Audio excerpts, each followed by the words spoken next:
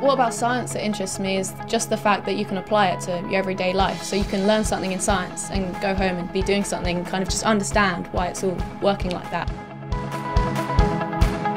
I think it's important to study science and maths to get a job because as the world is becoming greatly more technology based, then to have an understanding of the subject will be very important. When you're thinking about choosing your A-levels, it's important to think about what kind of career you're setting yourself up for. I'd really recommend doing subjects like maths and physics because they give you such a great foundation for going into any kind of technology or engineering or all sorts of different careers. We hire a lot of people who've studied the sciences. In fact, we love them and we'd love more of them. So those skills of problem solving are some of the best and most in demand benefits to the country as a whole of having more people study maths and physics is that it will help us to compete on the global level with companies around the world.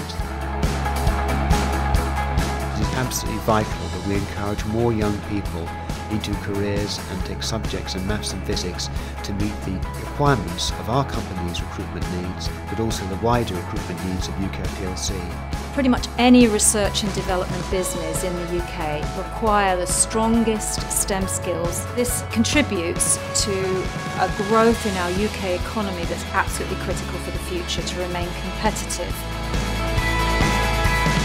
I think that uh, taking subjects like maths and science and technology um, at A-level really does create opportunities for you which you might not even have considered. The thing that I like most and enjoy best about my job is being able to finish a project that I've been designing for a number of years and then be able to point at it and say that I designed that. STEM subjects prepare you for a wealth of different careers.